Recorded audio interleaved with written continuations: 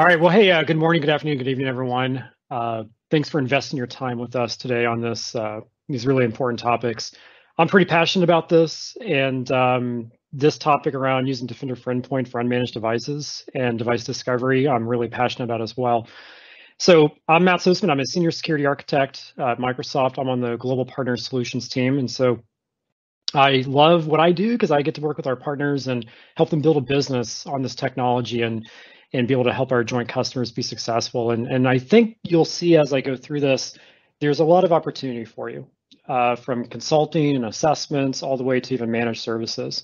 So as I go through this, kind of have an open mind a little bit and just think about some of the opportunity and then where you know Richard and Paul and Tiffany and myself and others from the team can help you uh, be successful with it and, and roll it out for your clients. Uh, okay, so uh, actually a quick housekeeping item before I continue. Um, you probably will get a copy of this deck, so I'm going to provide a copy to the team and, and they can give you access because there's some really good slides in here.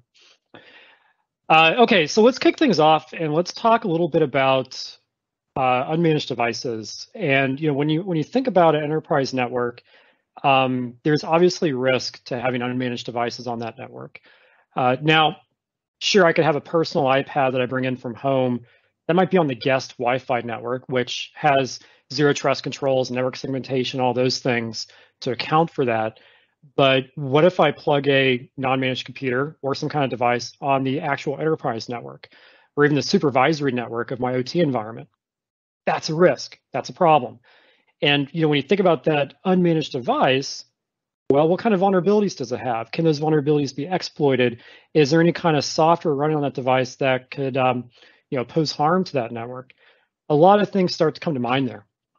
And so Microsoft uh, did a study, and, and there's a good blog uh, out there, and in fact, it's linked here in my speaker notes of the deck, where we, you know, basically went out and discovered with our customers that users are 71% more likely to be infected on an unmanaged device. Uh, and that's also because those unmanaged devices, they're not managed. So they're not receiving updates and patches. Uh, they're not getting security recommendations by Microsoft so that IT can go out and correctly configure those to reduce attack surface and lower risk. And so there's obviously some some opportunity there. So I just want you to kind of think about that and to set the stage with unmanaged devices. It's important. Um, your customer, our customer, likely has unmanaged devices on their enterprise network, even on their supervisory OT network, and let's really hope not on their actual OT network. But un unmanaged devices, they're out there. And so, how do we discover them? And then, how do we take action to remediate that? That's what this is about. Uh, if you take a step back and you look at the data breach reports out there over the last couple of years, um, unmanaged devices, whether it's a unmanaged Mac or Windows or iPad or Android or, or Android device on the network, those obviously have risk. But think about network devices. Think about a router or switch that or a firewall that maybe hasn't been hasn't had its firmware updated or it's or you know Cisco IOS hasn't been updated in years. Obviously, there's vulnerabilities there that could be exploited. And in the news, we've seen that happen. And we've seen that open a customer or an organization up to attack. And in some cases, they even got attacked. And so we built this amazing capability into Defender for Endpoint to help us recognize those unmanaged devices, but also the network devices like the routers and switches here to be able to understand is there any vulnerabilities there? And then how can we actually get those patched and get those remediated? Really, the point here is giving you visibility so you don't have any gaps in visibility. So while Paul and Richard uh, this morning here have been talking about OT and Defender for IoT for those OT environments, we're now talking about Defender for Endpoint, but we're going to talk a little bit more about the enterprise network, maybe even the supervisor network, and what kind of unmanaged devices or network devices might be on there that need your attention. So, you know, when we think about this capability, and we'll jump into the product here in a second. But again, we're talking about mobile devices, iOS, Android, the like. We're talking about workstations, Windows, Mac, um, even Windows Server. We're talking about servers and also network devices, firewalls, switches, routers, you know, that sort of thing. That's all in scope for this. And so what that means is being able to go out and discover those devices. I'll explain how here in a second, but we want to go out and discover all of those endpoints on the network, regardless of what it is. We want to surface that back in the Defender for Endpoint uh, management console under device inventory. And we want to show you that, hey, you have got some unmanaged devices. or we've got some devices out there that maybe we don't quite know what they are, but you still need to know that they exist. So we want to be able to perform that discovery. Now, what's cool about this is Defender for Endpoint does this seamlessly, and I'll explain how in just a second. From there, once we discover those devices, we want to empower you to go out and assess the security configuration of those devices. Assess them, see is there any vulnerabilities in the software or the firmware that's on those devices? Do we need to turn them from unmanaged into managed? You know, in a large enterprise environment, it's not uncommon for a power user or maybe somebody in IT to throw a device out there under their desk or something that is a web server or does some kind of a, a line of business function, but it's not managed. So obviously, you want to be able to gain visibility to that and then be able to assess it, and then ultimately be able to onboard it to Defender for Endpoint. And because we've already discussed discovered it and assessed it, being able to onboard it is pretty seamless now that it's surfaced in the console. So that's the mission. That's what we're trying to do here. So how do we do that? Well, we start with going to the security.microsoft.com portal, Microsoft 365 Defender, and being able to access it from here. Now, I can see immediately on the dashboard that I've got discovered devices uh, out there that Defender for Endpoint has seen, but also I can see that there's some devices out there that we can onboard as well. So immediately there's cards surfaced here Microsoft 365 Defender. But when we start to drill into Defender for Endpoint, and we click on the device inventory uh, section on the left side, we see a complete inventory of all of our devices. Now, when I click on my filter, on the right side here, I can filter by onboarding status. And so it might be kind of hard to see here in the slide, but I can say, hey, show me all the devices that have been onboarded to Defender for Endpoint, servers, workstations, mobile devices. Remember, Defender for Endpoint supports a myriad of operating systems, Android, iOS, iPad OS, Windows Server 2008 all the way to 2019, Linux, and uh, obviously Windows 10, Windows 11, Windows 7, and Windows 8.1. So we got you covered. So from those onboarded devices, I could see that. But what we want to do here is check the boxes for can be onboarded, unsupported, and insufficient info. And I'll explain the difference here in a second. But when we do that, that allows us to see the devices that it discovered. Now, I can also click on the Network Devices tab at the top, and that will show me network devices that it discovered as well. We'll come back to that here in a second. Um, but here's a, an example of what that would look like. So for network devices that we went out and, and found in the network, again, switches, firewalls, routers, and I'll explain how we do this. But um, this is a good example of what that looks like. Now, there's a caveat here. Um, we're not going to discover unmanaged network devices. So this is actually using SNMP in an authenticated fashion to go out and discover those network devices. Again, I'll come back to that and I'll explain how that works here in a few minutes. Um, now, what's interesting about this, for those devices that we discover, we can go out and based on the network traffic that's coming from those devices, how many times can I say devices? We will notice what software might be running on those devices. And then from there, we will give you a listing of the software. So in this case, this, this is network devices, and we can see that, okay, CatOS and XOS and IOS for some Cisco devices are being ran in the network. And here we can see 566 of those uh, devices have that OS. So that can be important, right, for many different reasons. But I, I, this allows me to get a software inventory of what's out there. Now, again, this is important though because it's inside Defender for Endpoint. So in the same screen, I can set my filter and say, Show me all the Mac OS devices. Show me all the Windows 10 devices. Show me all the, the Ubuntu uh, or name the Linux distribution device. So it allows me to pivot. I don't have to go out to a third-party tool. It's all contained right within Defender for Endpoint. Now, this can also give me recommendations. So as you know at Defender for Endpoint, we've got a capability called Threat and Vulnerability Management, TVM. So on the left side, when I click on Vulnerability Management, I can click on Recommendations, and based on what it discovers, whether the device is managed or unmanaged, onboarded or not onboarded, it will give you recommendations on how to better secure that device, better reduce attack surface, reduce risk, and increase posture. So in this example, we discovered those network devices running Cisco IOS, and the recommendations are, well, hey, we think it's running a older version of, of IOS, go out there and update it. And in fact, what's interesting here, when I click on that, you'll see this fly out here on the right side.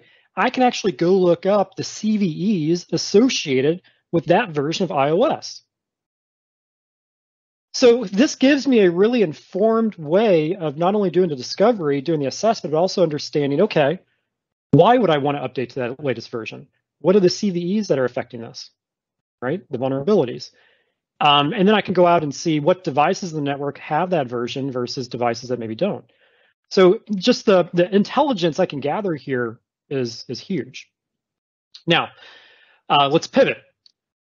Get away from network devices for a second. Let's talk about mobile devices it discovers, MacBooks, Windows devices it discovers on the network that are not onboarded to Defender for Endpoint. Well, it's going to give you a recommendation. It's going to say, hey, we recommend you onboard this, in addition to other things. And I'll come back to that here in a second. When we give the recommendation, this makes it super easy to then click on remediation options. And as you know, with Defender for Endpoint, it's directly integrated with Intune, Microsoft Endpoint Manager, and it will help you automatically onboard those devices. And so immediately I can I can go through, create a security task in Defender for Endpoint, which then flows into Microsoft Endpoint Manager to then be able to get those devices onboarded. And now the Intune admin can go out and, and, and get that taken care of. We'll save that topic for another day because that's a little bit of a, of a different conversation. Um, but there is a process you can follow here that's relatively easy to get those discovered devices onboarded to Defender for Endpoint. Okay, I know what you're wondering. Matt, cool, how does it work? Let me, let me explain. So there's, there's two different modes here called basic and standard. That's to go out and discover non-managed devices, unmanaged devices. So we're going to talk about that first. The other method is using network devices and SNMP. I'll talk about that last. So for this, what's interesting is any device that's onboarded to Defender for Endpoint, any Windows 10 device, I should say, can go out and perform this discovery. So you're not deploying an agent, right? As you know, Defender for Endpoint is built into Windows 10. It's already configured to do this out of the box.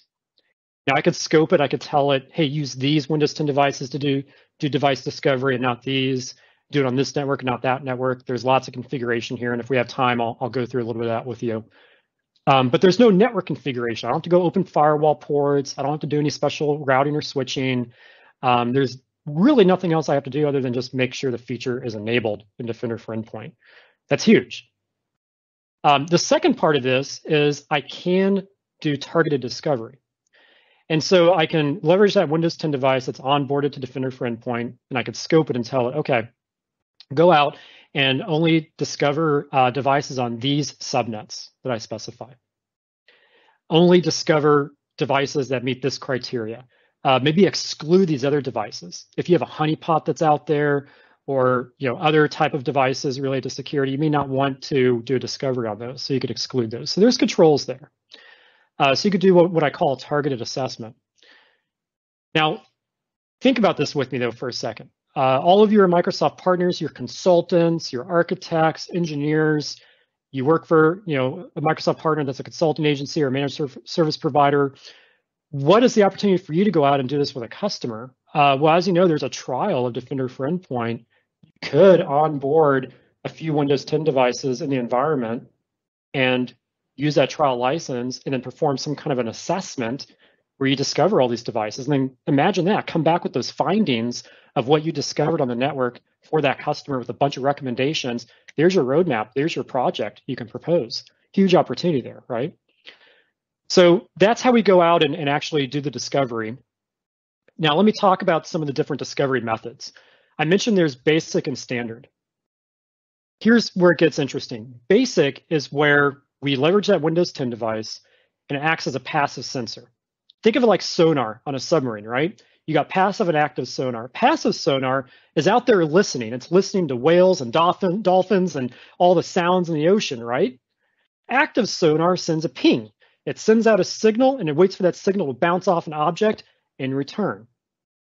We're doing passive. We're listening to traffic on the network. And there's a process on that Windows 10 device that's been onboarded to Defender for Endpoint, there's a process that gets enabled called senseNDR.exe.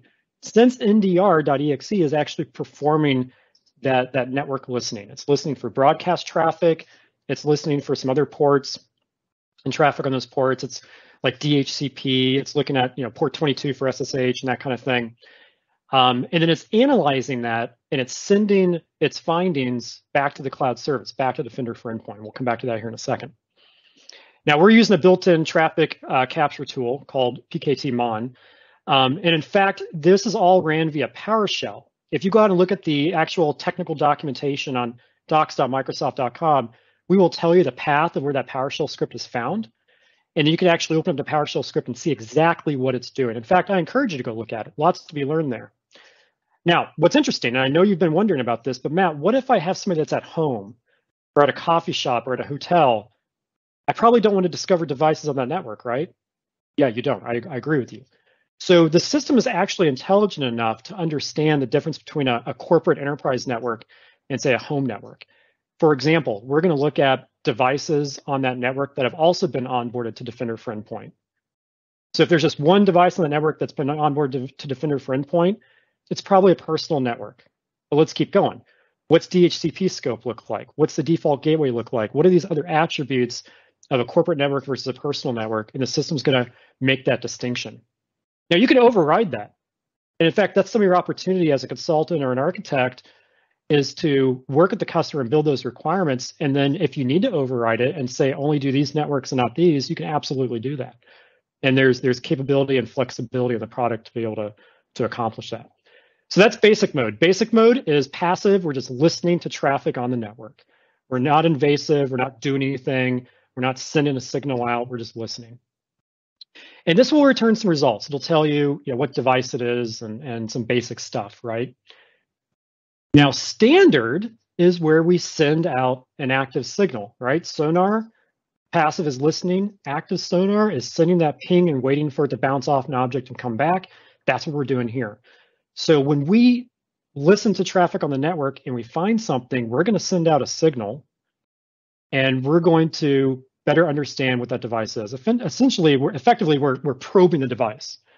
And so we're going to go out and understand a little bit more about that device. Now, it's not invasive, right? Uh, you're probably looking at a, at most of maybe 50 kilobytes of, of network data that's going to go across the wire. Um, and we do this once every three weeks. So it's it's it's very minimal, right? And in fact, I encourage you to lab this up and throw Wireshark on it and, and take a look at it and give one of us a call. And we'd be happy to go through it with you. But it's it's actually pretty minimal. But it's going to do some probing of that discovered device. Here's what I mean by that. We're going to look at what what ports and protocols are coming off the wire from that device, right? SSH traffic, as I mentioned, DHCP, uh, CDP traffic, there's HTTP traffic. We're going to look at a, a number of different things to understand what's coming off of it. From there, we're going to be able to understand what it is, what operating system is it, possibly what version of operating system, what kind of hardware is it. There's a lot of intelligence gathering we can get from that. That's going to get uh, painted in that dashboard in Defender for Endpoint and it's just going to enrich it. We can get the host name of it as well, which can be interesting and, and powerful depending on what I want to do. And so there's a lot of other things we can insights we can get off of this. And then eventually Defender for Endpoint is going to surface back to you. Here's a device we discovered. Here's the details about it. Here's some recommendations we have, like onboarding it. Um, if we see SSH coming off of that device, right, we might make a recommendation of disable SSH or go look at it. The point here is we give you visibility, and that's what's important. So basic mode and standard mode. How do you change it? If you go into Defender for Endpoint and you go to settings, you'll see a new option called uh, device discovery. Within that settings page, you can see something looks like here. This allows you to switch it from basic to standard. Now this PowerPoint's a little old. The default method used to be basic. As of, um, I think it's yeah, I think it's July actually. I need to go back and look. But as of July, we switched it over to standard. So the basic mode out of the box is standard. Now, that might cause some issues, right? If you've got a SOC out there monitoring, this may this may start to show up on their dashboard. So obviously, there's a little bit of, of legwork you have to do to make sure that you know this isn't being seen as some kind of potential threat on the network. I'll come back to that here in a second. But this is how you switch between the modes. Now, again, the difference here, basic, we're doing that passive, we're listening to traffic. Remember Defender for IoT? And Paul and Richard just talked about it. That's listening for traffic on that OT network. Same thing here. We're using that senseNDR.exe process to do that. Whereas standard, we're actively probing those devices that we discovered using unicast and multicast, And we're using another process called Sense IR. In fact, if you ever looked at Task Manager and you looked at the, the running processes for Defender for Endpoint, and I think the process is actually still named, named Windows Defender ATP. But if you look at those, you actually see Sense NDR and Sense IR. Um, how often does this run? Well, obviously basic, it's listening, it's always running. Again, standard only happens one every once every three weeks. And there's a timer built in the service. You can't you can't modify it or anything like that. Um, but it's it's not happening all the time. It's just once every three weeks. And again, um, as of July, standard is, is enabled by default. Quick time check here. Okay. Um, so as we start to, to, to get these insights in, we are looking at, again, network identification, telemetry, and metadata. And that helps us understand the difference between a corporate network and a, and a private network, right? Again, we're looking at how many devices on that network have been onboard to Defender for Endpoint, what's the default gateway look like, DHCP scope. Um, we're looking at some other attributes about that network to make that distinction. You could always override this though in settings. And in fact, when you go in here, and here's a screenshot of it, when you go into settings, after you tell it to do basic or standard mode, you could then say select which devices to use for discovery. And that way you could tell it, hey, only use these devices for discovery, maybe exclude these other ones. Um, and then I could also tell it what network to do discovery on. And again, lots of configuration opportunity there. And again, opportunity for you all to work with your client on. Um, and again, I can exclude, you know, honeypots or other devices you know, maybe uh, maybe sensors that the, the SOC uses from from that active probing. But at most, we're going to do active probing once every three weeks, and it's like less than 50 kilobytes of network traffic, extremely minimal. And this is all well documented, and I, I encourage all of you to lab this up as well and and and understand it. Uh, here's an example of those networks. So any network that we discover through uh, through the discovery process here will show up here. I can then tell it to exclude it, or I could say, hey, this is a monitored network. So I have some control over that. Now, if you go into advanced settings of Defender for Endpoint, this is where you'll see device discovery in this feature we've been talking about. My, my ask for you all is if you choose to disable it, please help us understand why. Uh, Microsoft has made a, a, huge investment in this capability. For me, it's it's kind of game changing. There's a lot of interesting possibilities to come out of this. Um, a lot of steps have been taken to make sure that you know this is engineered properly in the right way and all that. So if if there's feedback, right, customer or you maybe just don't feel comfortable with it or whatever it may be, you know, you're absolutely free to turn it off. But please give us feedback, right? We want to know why so we can make this better. Reach reach out to myself, Richard, Paul, anybody on the team or you're just your Microsoft contact, we want to make sure that you know we take that feedback back to engineering and and make this product you know work for you. So help us understand that. But that's where you go to disable it if you have to disable it. Okay, that's device discovery. Let me talk a little bit about network device discovery. Hmm. So device discovery was again unmanaged devices, Windows, iPad, Mac, Android, iPhones, that kind of thing, servers. Network device discovery is going out there and not only discovering network devices, but then performing a little bit of probing against them and then get an inventory of what's running on them and then making recommendations back. Now, this is done in an authenticated way using SNMP. So what does this mean? Well, you take an agent that you download from the portal, I'll get into this in a second, you download it from the portal, you install it on a Windows 10 device or Server 2016 or 2019, and that agent is what's going to be performing this, this network scanning. And the agent is going to do that through SNMP. Right. So I punch in my SNMP community string, um, if and, and whatever other criteria I need to authenticate, and then it's going to perform that scan using SNMP. That does mean those network devices have to have SNMP properly set up, right? So this is not going to go out and find a rogue wireless access point. It's possible it might if SNMP is set up. It's possible, but it probably won't. So this is more for, we want to actively, continuously monitor our network devices, firewalls, switches, and routers. We want to actively monitor them. We want to actively make sure they're on the latest version of firmware. We want to actively make sure they're properly configured. That's a great managed service opportunity for you all. It's just a great way to be successful security. So this is for that type of a scenario. And so again, we have this agent that gets installed on Windows 10 or, or Server 26, 2019. It's out there in the network. It's doing the discovery and it's pulling back the data. Now, I, I mentioned it's doing this in an authenticated way. So again, we're using SNMP. And again, there's there's two different methods of doing this. We can do the passive where we listen or the active probing. Um, and same thing with the device discovery here. We're able to, to use those same processes. Um, now, if I'm using SNMP, it's done every hour. And then if there's no changes, then we send it back to the uh, back to the cloud service every eight hours. This is all covered in technical documentation. I just kind of made it a little easier for you to interpret. The setup here, what do you have to do? Well, again, I see this as a great assessment opportunity, right? What if I'm your customer? Um, why don't you come in with a trial license of Defender for Endpoint? Why don't you come in and offer to set up SNMP on a few of my network devices, making this up here, play along, and do an assessment. Figure out, are those network devices on the latest version of firmware? Are they properly configured? You know, is there any known vulnerabilities? That kind of thing. Great assessment opportunity. If you go into production with this, then you need to follow what's on the screen here. So I obviously need to make sure SNMP is set up on those target devices, but then I also need to tell Defender for Endpoint the IP address range, what subnet. Um, I need to punch in any SNMP authentication credentials to be able to do that. So there's a little bit of configuration on the Defender for Endpoint side. And again, this is all well documented. And so here you can see that the standard OIDs that we use for SNMP to be able to gather the name of the device and description, right?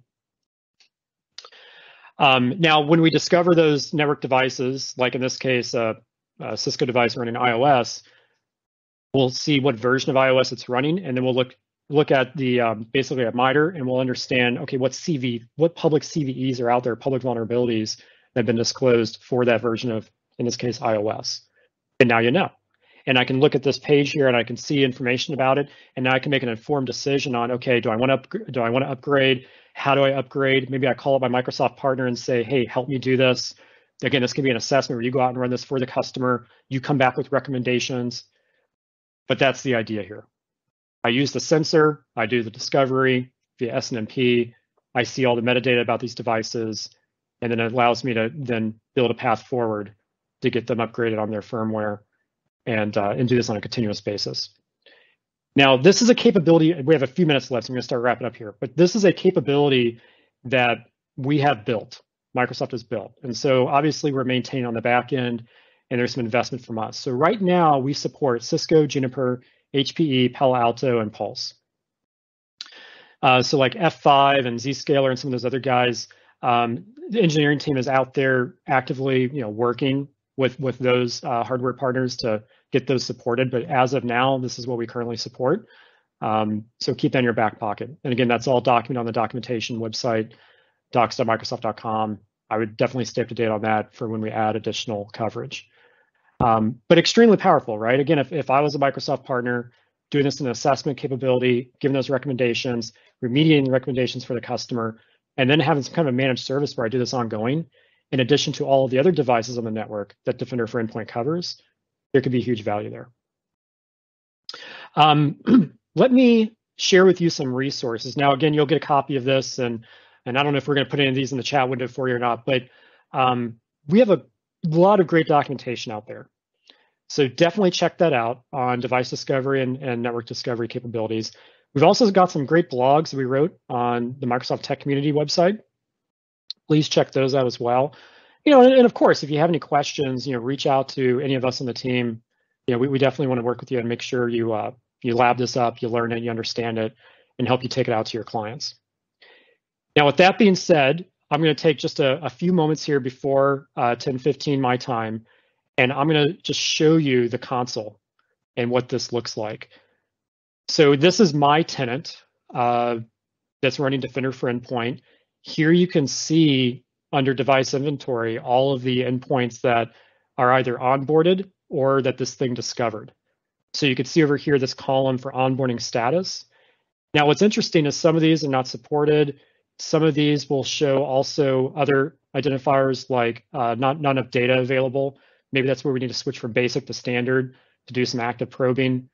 But here you can see some devices that are not onboarded, but can be onboarded. Like here's a Windows 7 device it found. Uh, here's a Mac it found that's not managed. So that kind of gives you an idea. Now, I don't have any enterprise network devices in my environment, so I don't have any data to show you, although I had some slides on that that you saw for examples. But I talked about that agent. So this is where I would click on scan for network devices. I download the scanner, install it on a Windows 10 or Server 26 2019 uh, device, and then I run an assessment job. So I can give it a name here.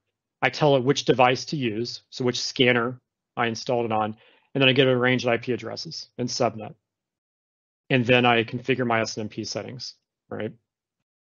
And that's going to create a job and go out there and, and start the scan for those network devices that we talked about.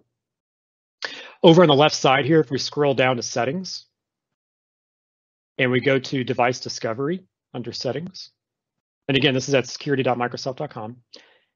Here's where I could start to configure this. You saw this in the PowerPoint. So again, by default, standard is enabled.